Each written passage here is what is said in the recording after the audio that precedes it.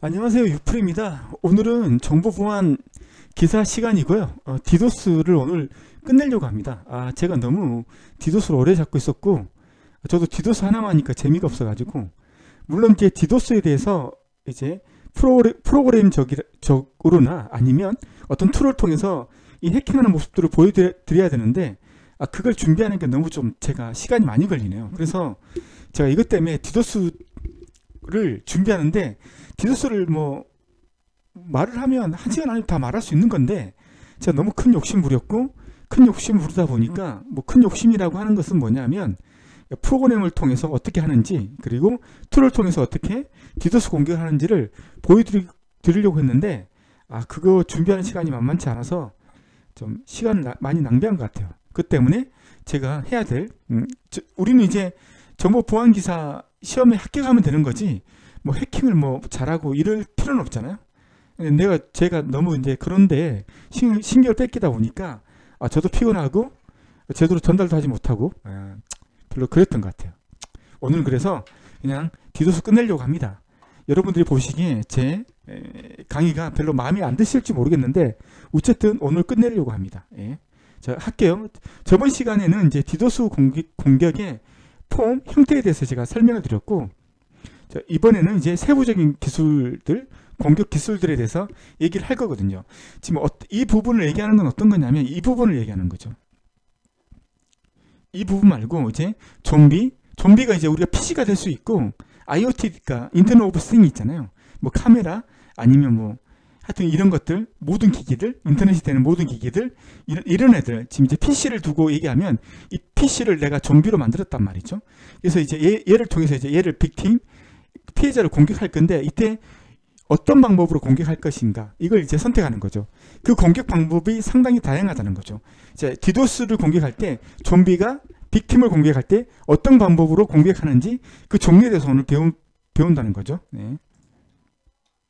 자, 근데 디도스를 할 때 일반적으로 우리가 알고 있듯이 뭐 하나의 하나의 공격만 디도스 공격만 하는 게 아니라 여러 가지 공격들을 조합을 해서 공격을 하거든요. 이 보시면 알겠지만 음. 자, 우리가 디도스 공격할 때 네트워크 기반 공격이 있어요. 이건 뭐예요? 대역폭을 공격하는 거죠. 대역폭. 그 다음에 애플리케이션 기반이 있는데 애플리케이션 기반이라고 하는 것은 우리가 알고 있는 이제 우리가 지금 인도에 들어와서 프로그램을 실행시키면 여러 가지 프로그램들을 실행시켜서 볼 수 있잖아요.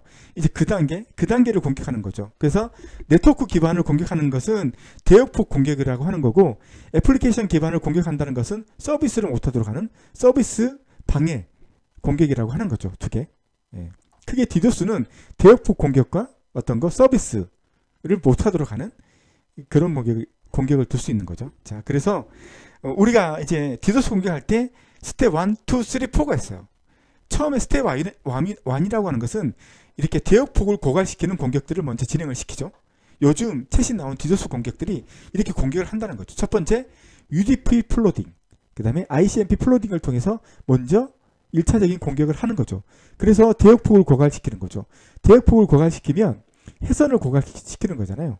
어떤 거냐면 이런 거죠. 음.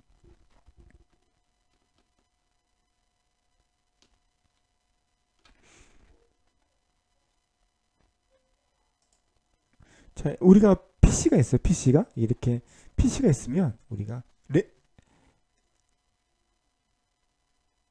PC와 PC 간에는 우리가 local area network에서는 이더넷을 쓰, 잖아요 이더넷. local area에서는 랜에서는 근데 WAN에서는 인터넷 같이 WAN에서는 쓰는 게 뭐 HDLC, TPP, 프레임 릴레이 프레임 릴레이라고 하는 게 있잖아요. 이렇게 세 가지를 쓰잖아요. 근데 요즘에는 이더, 이더넷도 많이 쓴다고 했죠. WAN에서 이더넷도. 그건 뭐냐면 이 두 개를 연결할 때 물리적인 선으로 여, 연결하잖아요. 그래서 우리가 랜에서는 이 선을 랜선이라 하잖아요. 랜선. 옛날에는 이게 대역폭이 100메가밖에 안 됐다고요. 100메가. 근데 지금은 10기가 뭐 100기가 이렇게 그 랜선에 그 그 대역폭이 커진 것들이 많아서 옛날에는 렌에서만 쓸 수, 이더넷은 렌에서만 쓸 수 있었는데 지금은 웬에서도 쓸 수 있다. 이렇게 정리를 하면 되는 거고요. 그리고 하나 더 중요하게 생각하는 것은 이더넷 HDLC, PPP, 뭐야 frame relay 이것들은 layer 2를 말하는 거죠. data link 계층.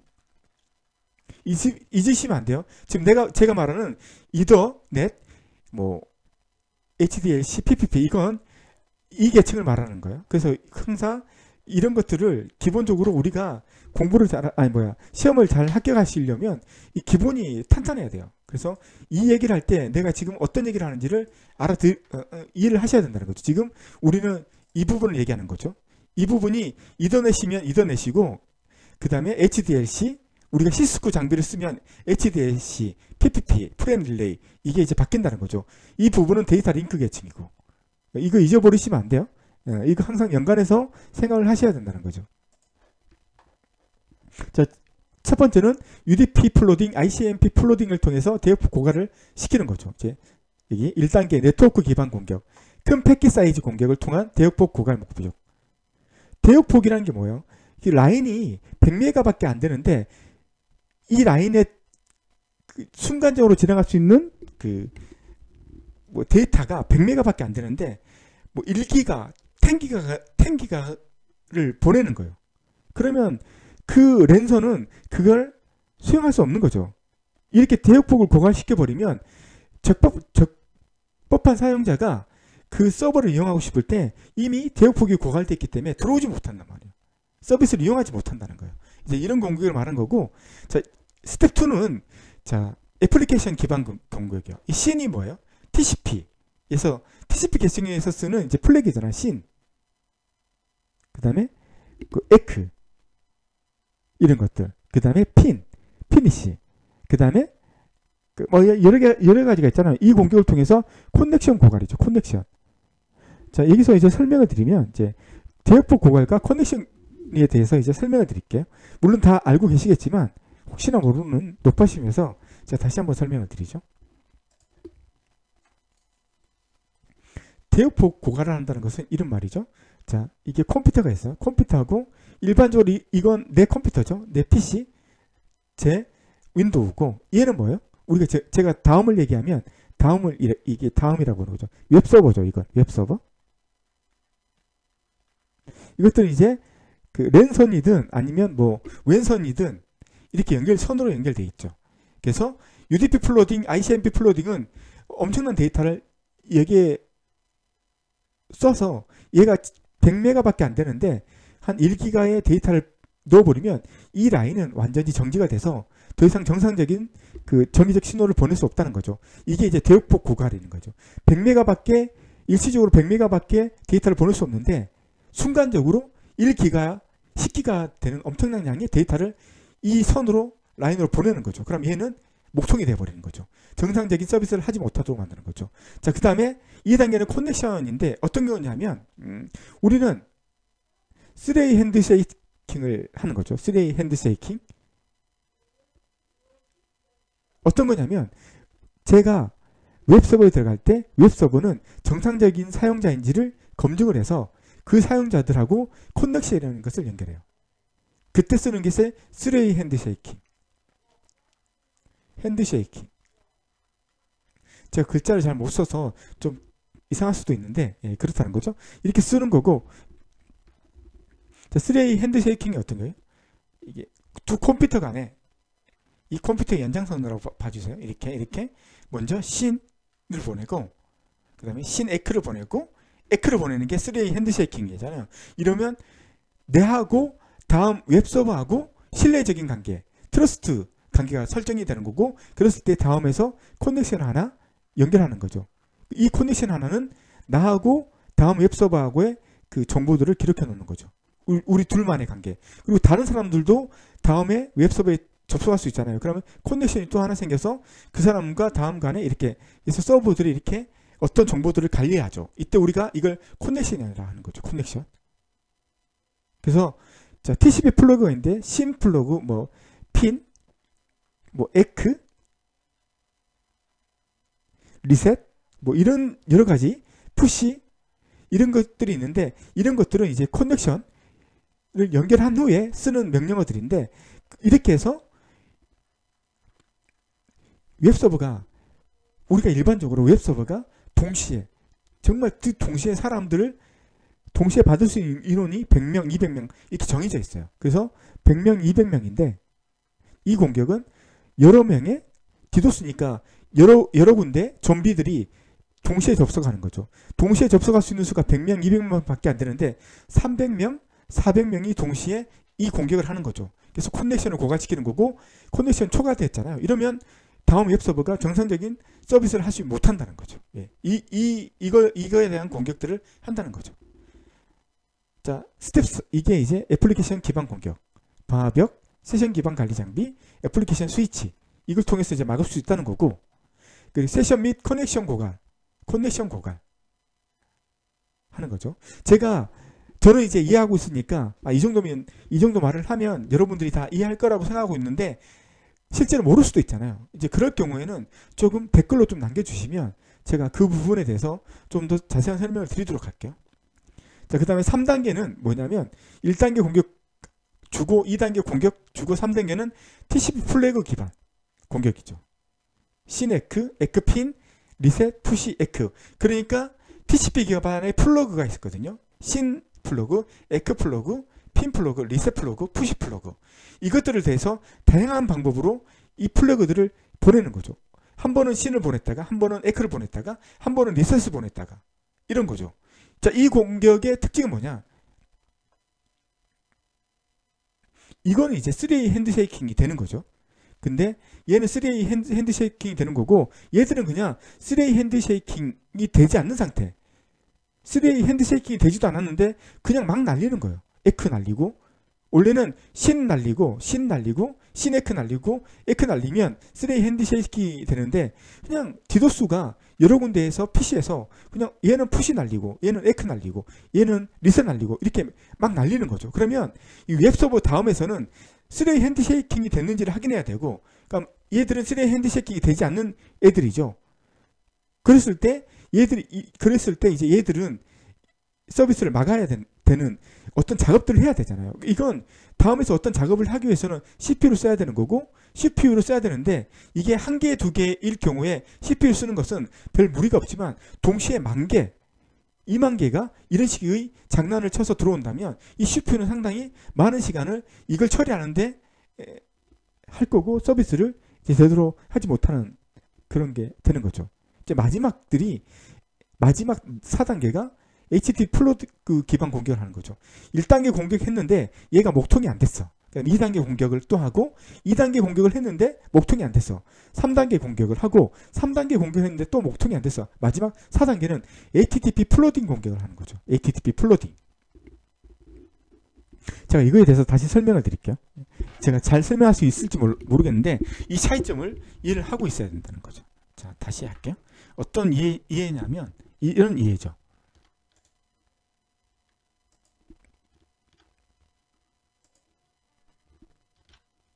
자, 이, 이거 어떤 거에 대해서 제가 얘기할 거냐면 이거의 차이점이에요. 아, 죄송합니다.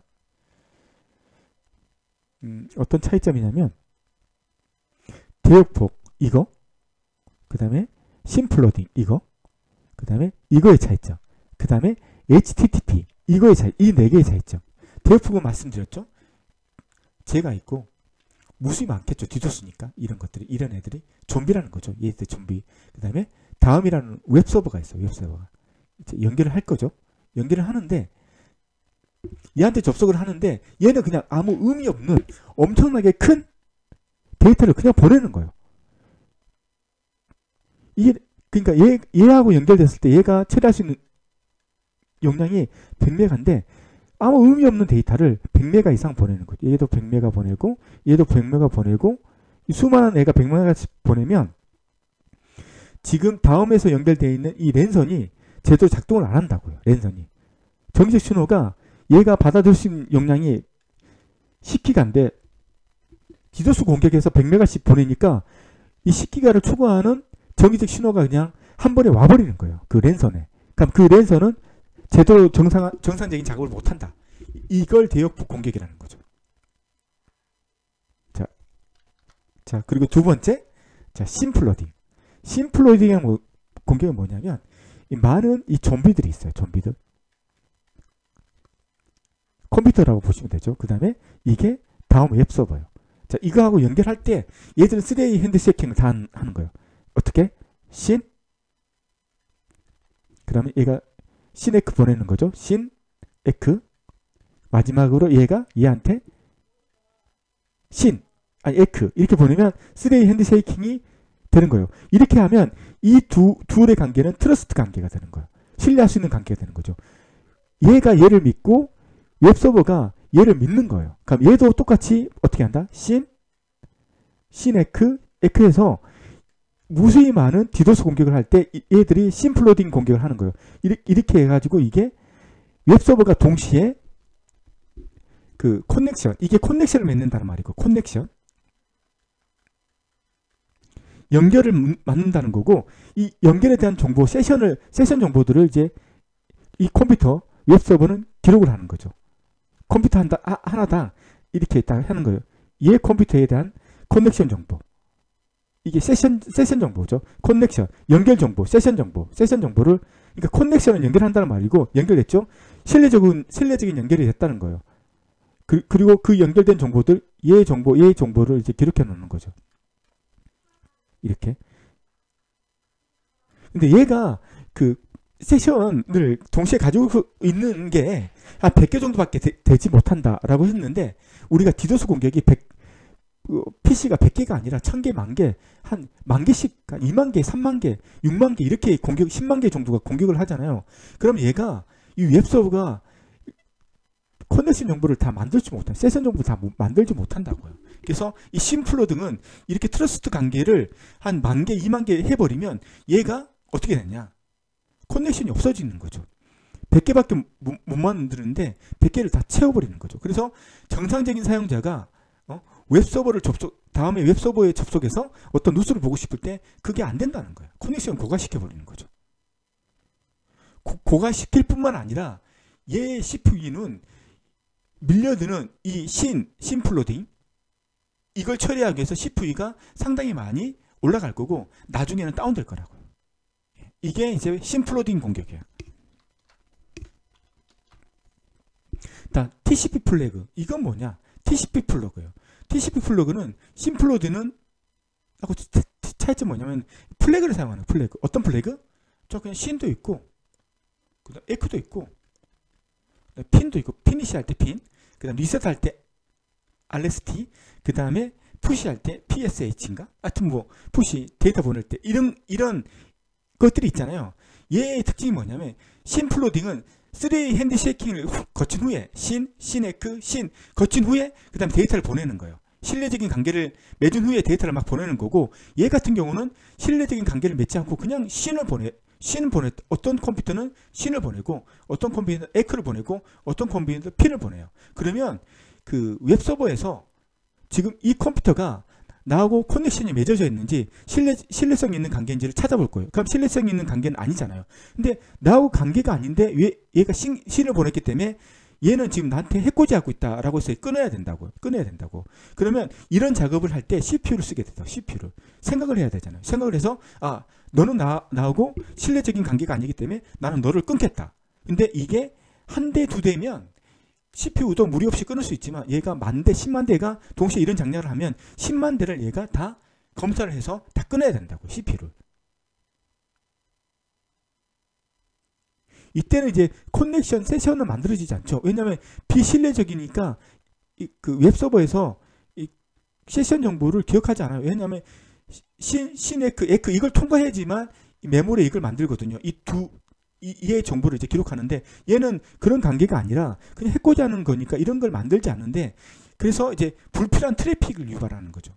불필요한 트래픽을 유지해서 CPU를 많이 먹게 만드는 거죠. 물론 대역폭도 고갈시키고 이런 자, 작업을 하는 거죠.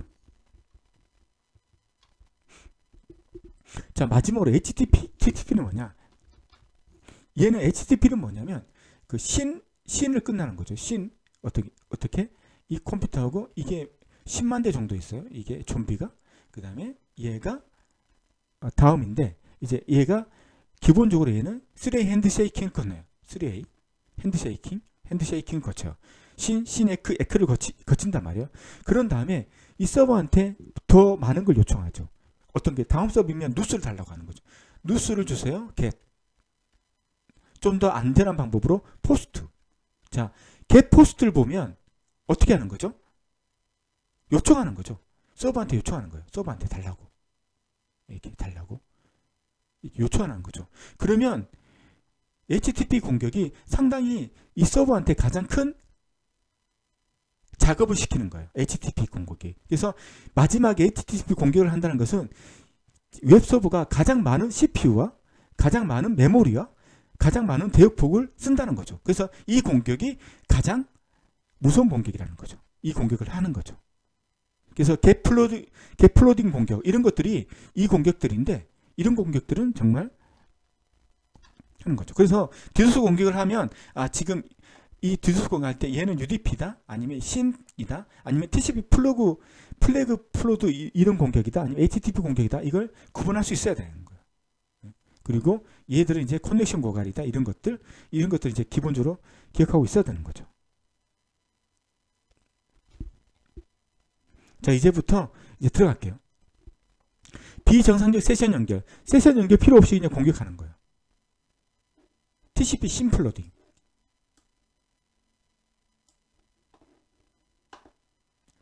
TCP SYN 패킷을 기반으로 한 디도스 공격이에요.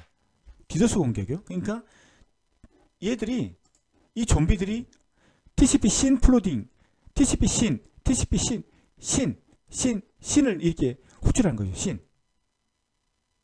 TCP 계층 중에서 SYN flag을 넣어서 이 보내는 거죠. 이렇게 좀비들이 이 공격을 말하는 거죠.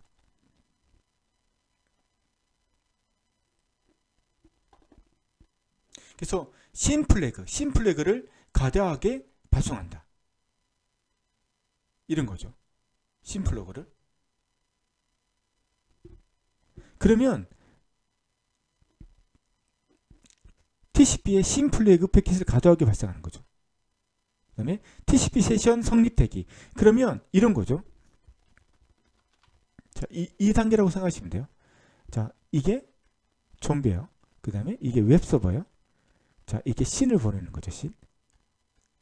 물론 TCP 이, 이, 여기에다가 신을 쳐서 넣는 거죠. 그럼 얘는 시네크를 보낼 거 아니에요. 시네크. 이렇게. 맞죠? three handshaking 하려고. 근데 얘는 어떻게 해버린 거죠? 리셋 시켜버린 리셋. 리셋. 이렇게 시켜 끊어버리는 거죠. 이게 half open이라고 부르거든요. half open. 이게 half open이에요. 그럼 full open은 어떤 거냐면 full open은 이렇게 하는 거죠. SYN 보내고 SYN ACK 보내고 마지막에 ACK 이렇게 보는 게 full open이고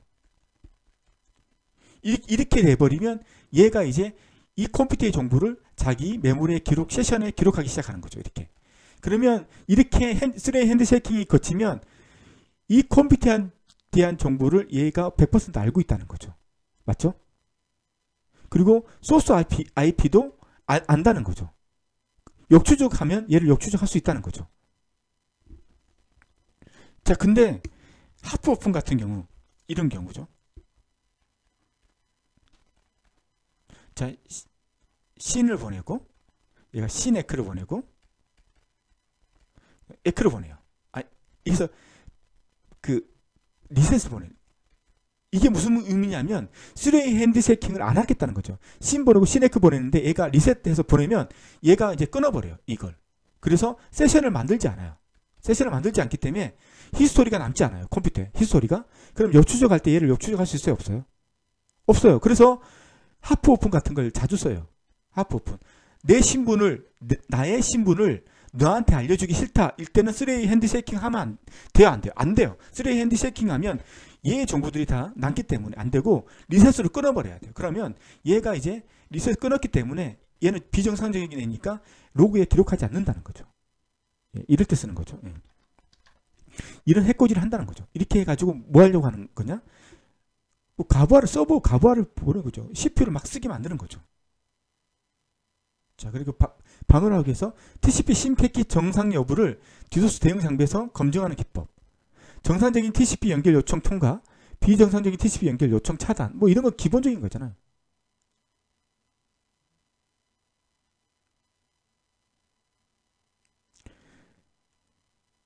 그 다음에 임계치 기반의 디도스 공격 방어. 임계치란 말이 나오는데 이거요.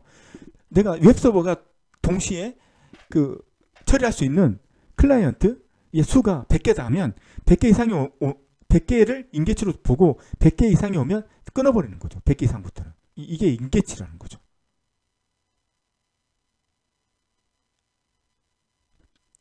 그런 말도 있는 것 같고 그 다음에 하나의 컴퓨터가 동시에 웹서버에 접속할 때 한 번만 들어와야 된다. 이런 인계치를 중요하는 거죠. 그러니까 최대한 들어와도 다섯 번. 하나의 컴퓨터에서 나한테 동시에 들어올 수 있는 다섯 번인데 하나의 컴퓨터가 나한테 열 번 이렇게 들어온다. 이런 것들은 이제 끊어버려. 이런 이런 인계치를 가두한 TCP/CN을 요청하는 출발자 IP를 차단하는 거죠. 이렇게 해서 웹서버가 자기 자신의 보호하는 거죠. 이런 것. TCP/CN 위에 플로딩. 이게 이걸 말하는 거죠. 이거. 그래서 여기서 보면 여기에 SYN flooding은 뭐예요? 3A 핸드쉐이킹을 한 심플로딩이고 헷갈리시면 안 돼. SYN flooding도 두 가지가 있잖아요. 3A 핸드쉐이킹을 거친 심플로딩이고 그래야지만 3A 핸드쉐이킹이 거쳐야지만 connection이 생기고 connection이 생겨야지 세션 정보들이 기록되니까 얘는 3A 핸드쉐이킹을 거친 거고 여기서 말하는 T-심 플로딩은 뭐예요? 3A 핸드쉐이킹 거치지 않는 그냥 일반적인 신 이걸 말하는 거죠. 이 공격이요. TCP 심 플래그 이걸 말하는 거예요. 이 공격을 말하는 거예요. 이 공격을 말하는 거예요. 아시겠죠? 이 공격을 말하는 건데 이 두 개는 같은 거예요. 헷갈리시면 안 돼요. 이 두 개는 뭐 SYN, TCP 뭐야 flag flooding 공격이요.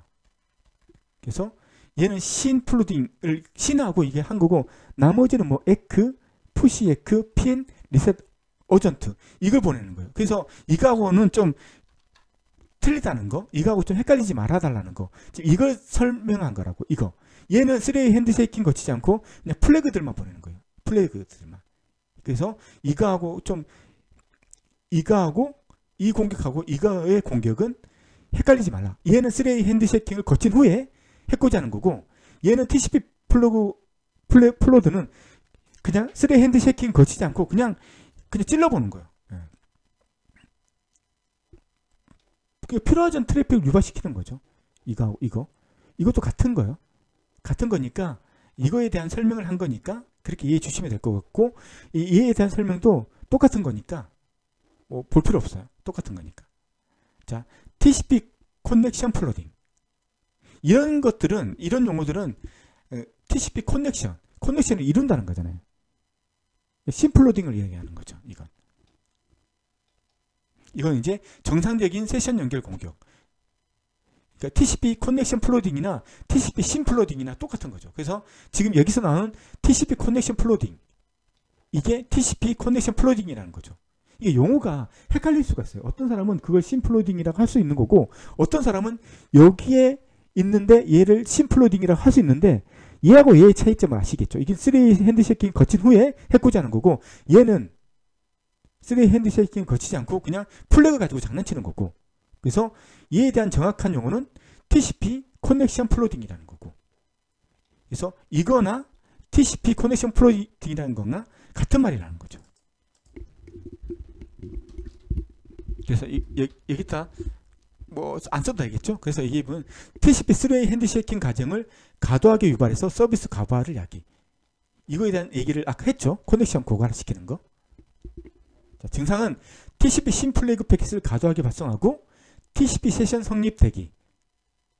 3A 핸드쉐이킹을 하는 거죠. 그래서 서버를 과부하를 야기시키는 거죠. 뭐 방어는 TCP 심패킷 정상 여부를 똑같은 말이에요. 예, 이거. 인계치? 이런 말. 아까 위에서 얘기했던 거잖아. 이, 이것들. 아 이거 아니다. 죄송해요. 이거 다시 할게요. 정상적인 TCP 세션을 지속적으로 연결. 서버의 세션 처리 자원을 고가시켜서 정상적인 세션 연결을 방해. 정상적인 사람이 서비스 받으려고 세션을 체결하려고 했는데 이미 다 체결돼서 세션을 더 이상 만들 게 없어서 전산적인 사람들이 서비스를 못 받도록 만드는 거. 자, 종류는 TCP 세션 연결을 유지하는 도수 공격. TCP 세션 연결 해제를 반복하는 DoS, DoS 공격. 이렇게 여러 가지 공격을 한다는 거죠. TCP 세션 연결 후 정상적인 transaction처럼 보이는 트래픽 발송. 이 중요한 게 아니에요. 이것들은. 예. 자, 방어는 정상적인 TCP 세션 연결 이후 정상적인 transaction이 수행되는지에 대해서 검증해서 정상적인 transaction일 경우에는 서버로 전달하고 아닌 경우는 TCP 세션 연결만 수행할 경우 서버 전달 차, 단이 제일 중요한 것은 이 부분이요. 이 부분에 대해서 좀 더 자세하게 설명해 드릴게요. 어떤 거냐면 이거죠.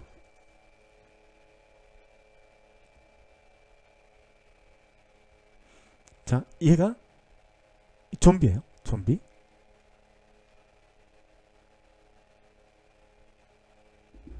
그 다음에 얘가 웹서버예요. 웹서버.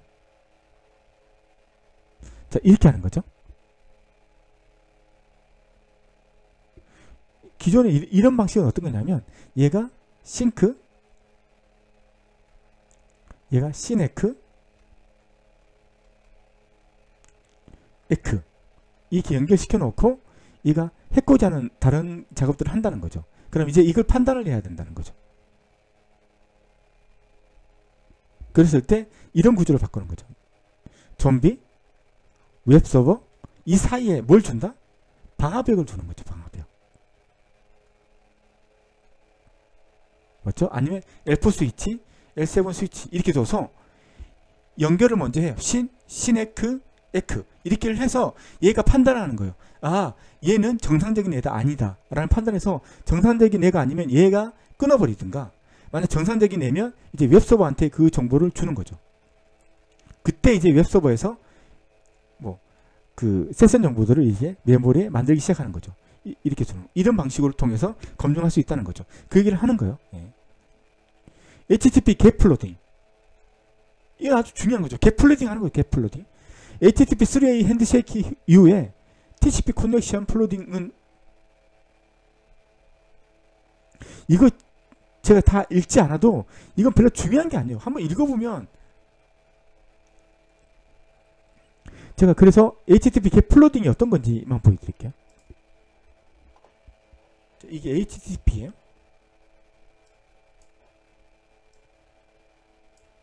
자, 이게 게, 게시요. HTTP. 자, 우리가 보려는 게 이게 2계층, 3계층, 4계층이 아니라 7계층을 보려는 거죠. HTTP 계층을 보려고 하는 거죠. 이 겟플로딩. 이 정보를 보려고 하는 거죠.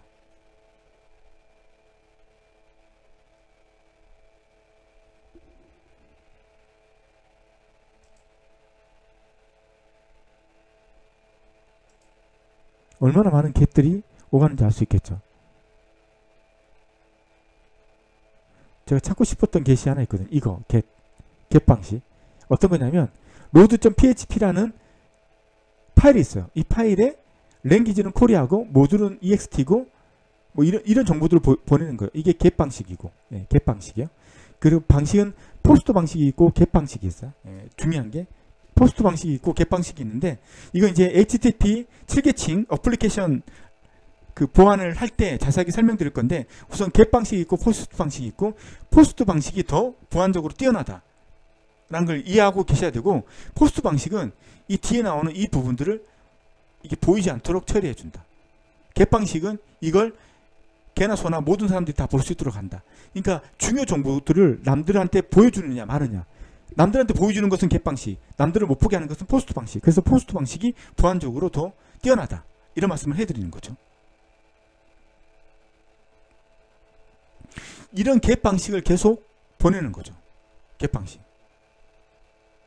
이 GET flooding 이런 것들을 여러, 몇만 대에서 이런 명령어들 이 똑같은 명령어들을 몇만 대가 똑같이 똑같은 명령어들을 계속 호출하는 거예요. 계속 호출하는 거예요. 얼마나 웹서버가 힘들겠어. 예, 그거 이제 HTTP 갭 플로팅이에요. 자, 이걸 막는 방법은 뭐냐면 임계치를 설정하는 거죠. 그래서 TCP 연결 요청의 임계치 값과 HTTP get 요청의 임계치 값을 해서 임계치보다 크면 막는 거죠. 그래서 그 임계치가 어떤 거냐? 임계치는 여러 개가 될 수 있어요. 하나의 그러니까 좀비 하나의 좀비가 단시간 안에 엄청나게 많은 그러니까 하나의 IP에서 개인 요청이 너무 많이 들어온다. 인계치보다 많이 들어온다. 그럼 그걸 끊어. 그리고 개플로딩인데 이런 거죠. 두 가지 방법이 있는데 이, 이거에 대해서 설명을 드릴게요. 어떤 거냐면 이런 거죠. 이 하나를 보고 얘기하면 이게 좀비, 이게 웹서버인데 이 하나가 게, 게시란 요청을 엄청나게 하는 거예요. 이 하나가. 그러면 얘가 인계치를 설정해서 하나의 IP에서 겐 요청이 일시적으로 5회 이상 온다. 그럼 얘는 악의적인 애다. 그래서 끊어. 다 끊어버려. 이런 인계치를 쓸 수도 있는 거고 아니면 제가 갑자기 설명하다가 하나가 겨, 이 하나를 또 잊어버렸는데 내가 뭐 하려 했다. 넘어갈게요 우선. 이렇게 해서 get을 끊는 인계치 방법이 있고 그 다음에 하나는 더 있었는데? 아니면 이런 거죠. 아 이제 생각났어요. 요청을 하는데 이렇게 요청을 하는 경우죠. 많은 컴퓨터가 이, 이거하고 똑같은 형태로 다 요청을 하는 거예요. 그러니까 한 만 대가 이, 이, 똑같은 유형으로 나한테 호출하는 거예요. 똑같은 유형으로. 이, 이 똑같은 유형으로 그러면 얘는 쉽게 알수 있죠. 아, 똑같은 유, 형으로 똑같은 애가 만대에서 똑같은 유형으로 나를 호출하더라. 아, 그럼 그거 다 끊어버려. 그 만대. 이제 그렇게 하는 게 이거죠. GET flooding. 자, 그리고 다이나믹 HTTP 리퀘스트 플로딩이 뭐냐면 얘는 어떤 거냐면 얘처럼 만대에서 얘하고 똑같은 공격을 하는 게 아니라 한 놈은 load.php를 부르고 한 놈은 load2.php 부르고 한 놈은 뭐 다른 페이지를 부르고 그러니까 만 대가 다 다른 걸 요청하는 거예요. get을 요청하는 거예요.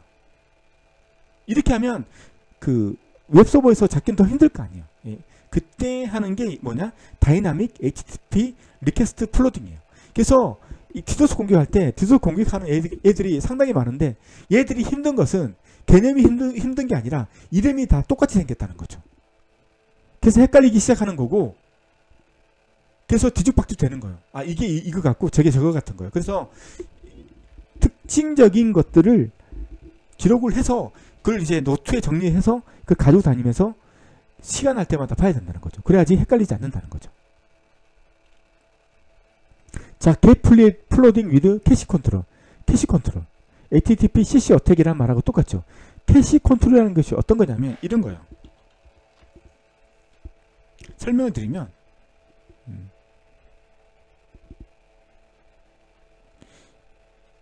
이 좀비들이 있어요. 좀비들. 아, 좀비라고 하지 말고 정상인 사람들하고 웹 서버가 있어. 웹 서버. 이거 웹 서버요. 그 다음에 캐시 서버가 있어요. 캐시 서버가. 이게 캐시 서버가. 캐시 서버. 그 다음에 여기 캐시 서버가 또 있어요. 캐시 서버. 얘는 이미지만 가지고 있는 캐시 서버. 얘는 파일들만 가지고 있는 캐시 서버. 라는 거죠. 그래서 얘가 요청을 하면 웹서버에서 있는 정보는 이렇게 요청, 이, 주는 거고 그리고 이미지 같은 경우는 얘가 주고 그 다음에 파일 같은 경우는 얘가 이제 분산해 줘요. 이러면 속도가 빨라지는 거거든요. 속도 빨라지는 거예요. 근데 예, cache control이라는 flag가 있어요. 이 cache control을 안 쓰겠다고 하면 어떻게 해야 되냐면 이 캐시들을 못 쓰는 거예요. 웹 서버가 이미지도 줘야 되고 이렇게 줘야 되는 거죠. 이, 이 가져와서 이, 렇게 줘야 되는 거고 이렇게 가져와서 이렇게 줘야 되는 거예요. 그러니까 웹 서버가 해야 될 일이 너무 많아진 거예요. 그래서 웹 서버가 성능이 저하 되는 거죠. 맞죠? 그래서 원래는 이런 식으로 캐시 서버를 이용해서 이렇게 줄 수 있는데 그럼 속도가 빨라지는데 그르, 그렇게 하지 않고 웹 서버에서 모든 걸 다 알아서 해달라고 요청할 수 있어요. 사용자가. 얘가 요청을 할 수 있다고요. 얘가 요청을 할 수 있다고요. 뭘 통해서? cache control이라는 애를 통해서 요청을 할 수 있다는 거죠. 자, 보면 cache control이라는 헤더 옵션 값. 자, 우리가 아까도 마, 말했지만 요청을 할 때 클라이언트가 서버한테 요청을 할 때 캐시 이- 여기 hypertext transfer protocol 있잖아요. 이게 헤더예요. 헤더. 여기 보시면 헤더 옵션 값이죠. 헤더 옵션 값. 음. 헤더 옵션 값. 이게 헤더예요. 헤더.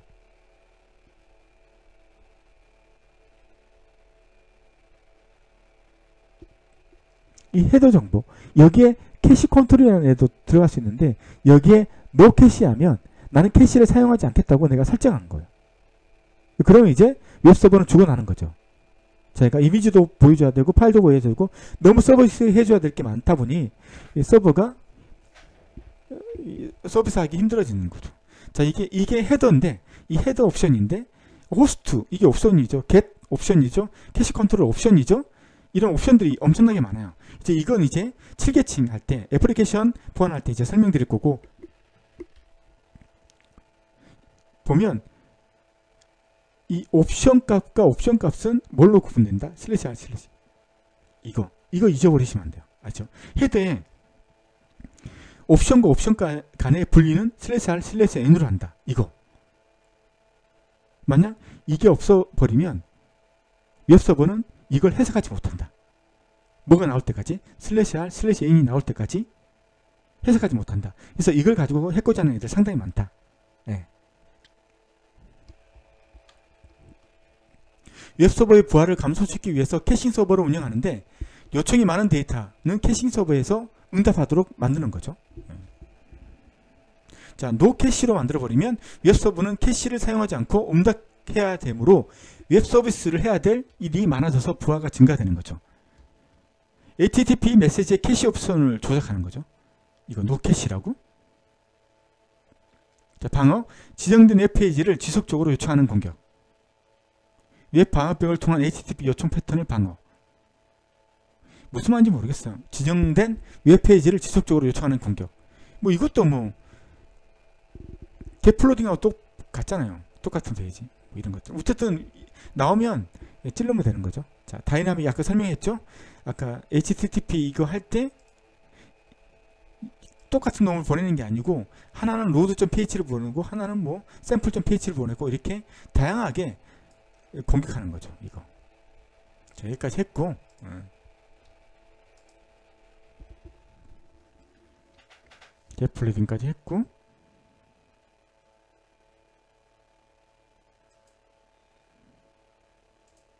자 마지막으로 이걸 하는 거죠. 헤더 옵션, 헤더 옵션. 아, 아시죠? 헤더 옵션 기억나시죠? 어떤 건지? 헤더 옵션 이 부분 HTTP hypertext transfer protocol 여기에 이 부분들 이게 이제 헤더잖아요. 헤더 옵션 헤더고 이것들이 옵션이잖아요. 옵션, 옵션 이 하나 하나가 옵션이잖아요. 그리고 옵션과 옵션 간의 구분은 뭐, 뭘로 한다? 슬래시 R 슬래시 N으로 그래서 아주 중요한 거예요. 슬래시 R 슬래시 N 예. 이거 다 옵션이죠. 예, 옵션들이에요. 이것들 이것들 다 공부할 거예요. 나중에 예. 옵션 옵션 그리고 이, 이 모든 것들을 우리는 헤더라고 부른다. 헤더 그래서 헤더하고 옵션의 용어는 아시겠죠? 예, 그래서 여기 보면 세 가지가 있죠. slow HTTP DoS 피, 포, POST 그 다음에 slow loris slow loris, loris가 보- 찾아보시면 아직 동물을 가리켜요. 동물 동물을 가리키는데 slow loris가 상당히 엄청나게 느린 동물이에요. 행동이 굼뜨다는 거죠. 그래서 slow loris라고 이름 붙였는지 모르겠어요. 예. 그 다음에 slow HTTP read DoS 이거에 대해서 알아, 알아보는 거죠. 이 세 개도 상당히 힘들어요. 힘들, 힘들거든요. 그래서 여러분들은 이것들을 나중에는 다 잊어버릴 거예요. 그래서 특징적인 것들, 이것들은 시험 치기 전까지 계속 봐야 돼요. 아, 그러지 않으면 헷갈려서 못 봐요.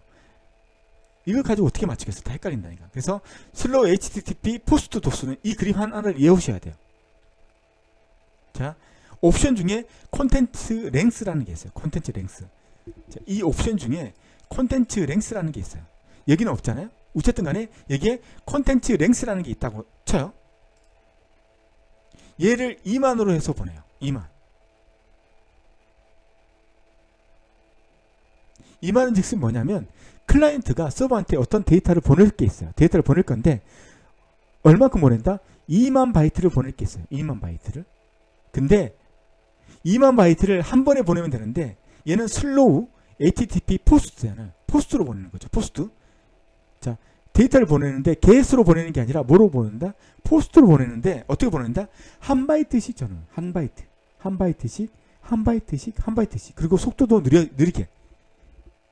1초에 한, 한 바이트씩 보내는 1초에 한 바이트. 그래서 길게 잡는 거죠. 길게. connection을 유지하는 거죠. 그러니까 웹 서버는 이것 때문에 처리할 양이 많아지는 거죠. 예, 이런 공격이 slow HTTP POST 공격이에요. 이거 아셔야 돼요. 그래서 slow HTTP slow POST slow POST인데 POST로 데이터를 줄 거란 말이에요. POST로 데이터를 줄 건데 상당히 많은 데이터를 줄 것처럼 Content-Length를 위조해서 나는 2만 바이트를 줄 거라고 Content-Length의 옵션을 변경을 하고 실제로 보내는데 2만 바이트를 보내는데 한 바이트씩 한 바이트씩 아주 천천히 보내는 거죠. POST 보낸다. 이렇게 하는 거고 slow loris slow HTTP header DoS slow loris 자 슬래시 R 슬래시 N이라고 하는 거죠.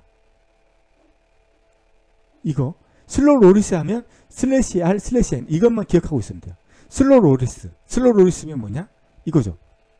자 connection이 나왔어. 이 옵션이 나왔어요. 그래서 keep alive 슬래시 R 슬래시 N을 줘야지 웹 서버에서 아 이건 connection에 keep alive를 이라는 정보를 나한테 준 거라고 할수 있는데 슬래시 R 슬래시를 안 주고 계속 엉뚱한 데이터를 주는 거예요. 이렇게 주는 거죠. 어, 아유 죄송.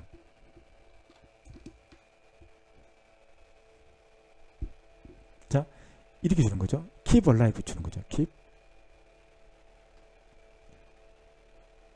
천천히 또 여기서 뭐 하여튼 이상한 문자들 계속 보내는 거예요. 이걸 안 보내는 거야. 계속. 그러면 웹서버는 이게 올 때까지 기다리는 거예요. 그래서 이 내용들을 전부 다 웹서버는 가지고 복사해 놔야 돼요. 근데 이게 2만 바이트, 10만 바이트를 계속 이런 식으로 하는 거예요. 이거 안 주고. 이거 안 주고. 계속. 이렇게 해서 웹서버하고 오랫동안 connection을 유지하는 거예요. 오랫동안. 오랫동안. 연결되고 있는 실시간으로 연결, 그러니까 실시간 100개가 동시에 작업할 수 있는 게 100개밖에 없는데 이렇게 100대가 오랫동안 잡고 있으면 나머지 애들은 들어오지 못한다는 거죠. 이렇게 잡아놓는 거죠. 이게 뭐다? slow loris 공격. slow loris 공격은 뭐다? 다른 건 다 필요 없고 슬래시 R 슬래시 N을 안 보내는 거야. 네? 뭐 방어하는 방법은 방어법들을 통해서 세션 임계치. 그러니까 세션이 연결됐는데 너무 오랫동안 너무 오랫동안 세션을 잡고 있다. 너무 오랫동안 세션이 작업하고 있다. 그럼 그거 끊어버리라. 이게 그냥 상식적인 사, 선에서 우리가 알 수 있는 거잖아요. 그리고 방어는 공격자가 헤더를 천천히 전달하며 연결 시간을 지속시키므로 연결 타임아웃을 연결 타임아웃을 지정하는 거죠. 의심스러운 것들은 다 끊어버리는 거죠. 자, slow HTTP read DoS read. 자, window size라고 있죠. window size. 자, 이건 이제 이걸 보셔야 되는 거죠. window size. 이건 7계층을 보셔야 되는 거고.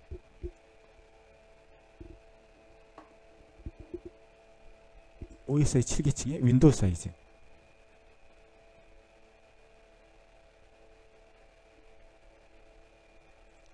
여기 window size 있잖아요. 이게 TCP 계층이죠. transport layer니까 TCP 계층이죠. IP 예. 아, 아, 아, TCP TCP죠. 여기에 이제 window size가 있어요. window size 어? Sorry.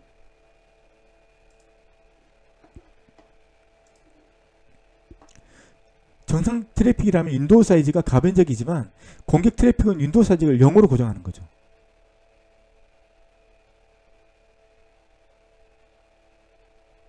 window size를 0으로 주는 거죠. window size.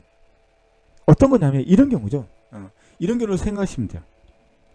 window size 0으로 고정하는 것은 이런 의미가 있는 거예요. 자, 두 개의 컴퓨터가 있어. 이게 뭐 공격자고 이게 뭐 좀비가 되겠죠. 좀비고 이게 웹 서버예요. 웹 서버. 자, 이제 둘 간에 연결이 돼 있어요. 어떤 경우냐면 우리가 인터넷이 사용자들이 많이 몰리다 보면 이 데이터를 보낼 수 있는 양이 줄어들잖아요. 그러니까 처음에는 한, 한 명만 쓰고 있을 때는 여기에 뭐 한 명이서 뭐 1메가를 보낼 수 있다고 했는데 10명이 쓰다 보니까 한 명이 1메가씩 보내면 안 되는 거예요. 그래서 window size를 뭐 100바이트로 이제 줄이는 거죠. 그래서 얘가 이제 처음에 1메가씩 데이터를 보낼 수 있었는데 이제 너무 혼잡돼서 여, 여러 명이 쓰다 보니까 이제 이, 이 선이 랜선이 너무 혼잡되니까 window size를 자동적으로 어떻게 바꾼다? 100바이트로 바꿔주는 거예요. window size. 아 이제 1메가로 보냈다가 지금 이 랜선에 사용하는 사용자가 많으니까 지금 1메가 보내면 안 되고 대역폭을 너무 소진시키면 안 되니까 이제 100바이트만 보내라. 그래야지만 안전하게 당신의 데이터가 갈 수 있다. 이래서 100바이트 window size를 바꾸는데 이제 공격자가 의도적으로 자기가 이걸 이제 spoofing 하는 거죠. 0으로 주는 거. 그래서 둘이 이제 3 handshaking을 있는데 0으로 주니까 데이터를 보내든 받든 못하는 거예요. 0으로 줬기 때문에. 데이터를 안 보내는 거예요. 데이터 보낼 게 내가 1메가가 있는데 window size가 0이니까 보낼 수가 없는 거예요. 그러니까 1메가를 보내지 못했기 때문에 이 둘 간의 connection은 계속 유지가 돼야 되는 거예요. 이렇게 해서 길게 유지시키는 거. 거기 보시면 알겠지만 뭐예요? 커넥션을 길게 이건 슬래시 R 슬래시 N을 보내줘야 되는데 안 보내서 길게 connection 연결시키는 거고 얘는 window size를 0으로 그래서 지금 트래픽이 너무 붐비니까 지금 데이터를 0으로 보내지 말라라고 설정을 해서 둘 간의 연결을 connection을 길게 잡아주는 거고 얘도 마찬가지죠. 얘도 HTTP POST도 얘도 데이터를 엄청나게 많이 보내야 되는데 한 바이트씩 보내서 길게 connection을 유지시키는 거죠. 그래서 CPU도 힘들게 만들고 뭐 이렇게 하는 게 이제 이런 공격들이라는 거죠. 자, 오늘은 여기서 끝내도록 할게요. 이제 제가 디도스 공격에 대해서 여러분들한테 자세히 설명도 못 드리고 얘도 못 드릴 거 못 드렸지만 어쨌든 저는 이제 이 디도스를 마치도록 하겠습니다. 정말 저도 준비한다고 힘들었고 그 너무 큰 욕심을 부렸던 것 같아요. 여러분들한테 어, 공격 도구에 대해서도 설명해 드리고 그리고 프로그램을 통해서도 설명해 드리려고 너무 큰 욕심을 부리다 보니까 준비하는데 시간이 너무 많이 걸렸고 저도 준비하면서 힘들었어요. 그러다 보니까 동영상도 찍지 않고 지, 직장 끝나자마자 집에 와서 맨날 뭐 넷플릭스나 보고 이렇게 인생 인생을 이제 허비했던 것 같아요. 예. 하여튼 이런 이런 어, 나만의 어, 뭐 반성을 하면서 자 오늘은 여기서 끝마치도록 하겠습니다. 감사합니다.